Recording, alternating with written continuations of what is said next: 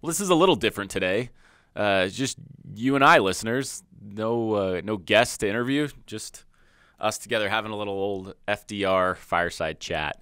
We wanted to jump on today and uh, and go through a few quick little talking points with you. Number one, uh, we don't get enough opportunities to say thanks. Thanks for listening. This podcast is a passion project for many of us who turn on the TV or or the radio and notice that you know politics are polarized on purpose that to, to drive attention to the advertisers. People say some crazy things.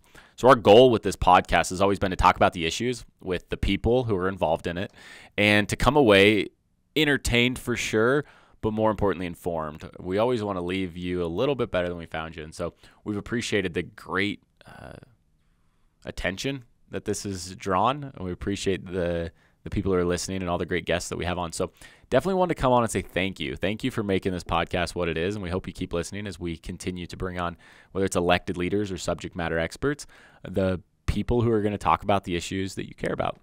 And we want to do it in a very civil and constructive way where we take uh, the temperature down a little bit and be able to have a fact based and reasonable conversation. So that's been our goal. Now, then, if we can then jump to a quick history lesson, if you were alive in the mid 1900s, the name Edward Everett would probably mean something. He was an important guy. Not only was he governor of Massachusetts, he was a senator and a congressman. He was, a, you know, an ambassador to Great Britain, even president of Harvard. The guy did it all, and a world-renowned orator. Uh, he was the guy you called on when you needed somebody to say something and say something really well. So he was chosen to give the keynote address of the dedication of a military cemetery during the Civil War. Uh, he spoke for two hours, 15,000 words, and didn't look down at his notes once. Gave a speech of poetic, flowery prose, told everybody exactly what they needed to hear in a very flowery way. But we don't remember Edward Everett, and we don't remember what he says. No, instead, history remembers the guy that got up after him, who spoke for less than two minutes, 200 odd words, and began with four score and seven years ago. We remember President Lincoln's Gettysburg Address. I love the dichotomy there. It's a lesson in brevity for sure. It's a lesson in humility, absolutely. Um, but it's also a lesson in message.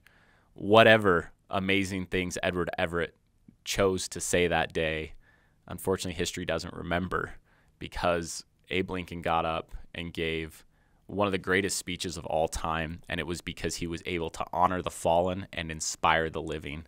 And he asked everyone for a, a, renewed commitment to democracy and freedom.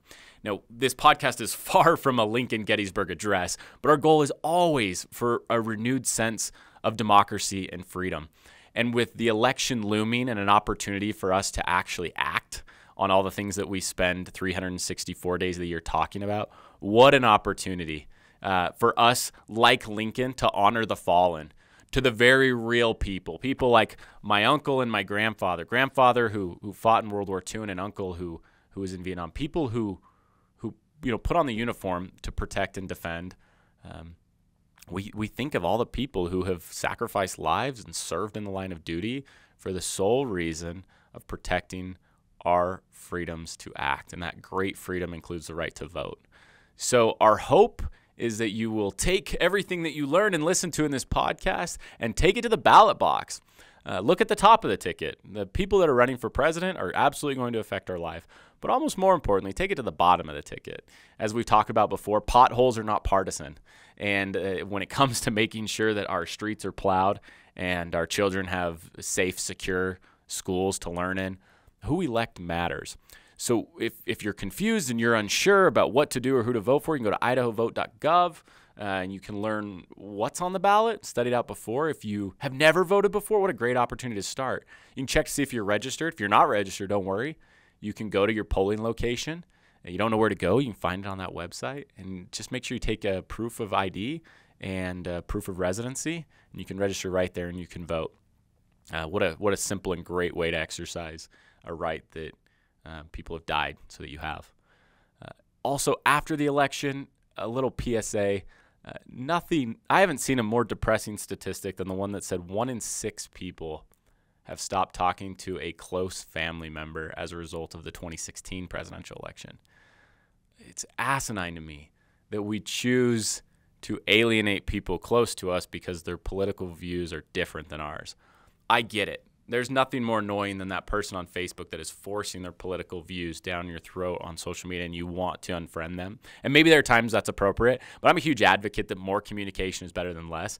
And as we uh, self isolate or find ourselves in tribes and circles where people are just telling us everything we already agree with, that's a problem.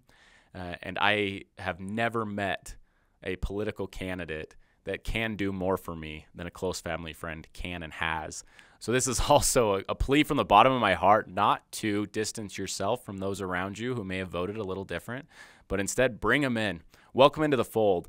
Uh, show them your perspective, but you know, seek first to understand, and then you can be understood. What a great opportunity for us this election season to come together and do what we do best as Idahoans. We uh, we vote our conscience, we vote our constitution, and uh, then when it's all said and done, we all come together with a renewed sense of commitment to democracy and freedom. And so I, I know lives get busy and it's it's hard to make time with everything going on, but it's so important that you make a plan and go vote. And it's uh, Tuesday, November 5th. It's always the first Tuesday following the first Monday in November, election day. It's, it's just a great opportunity to exercise that voting right.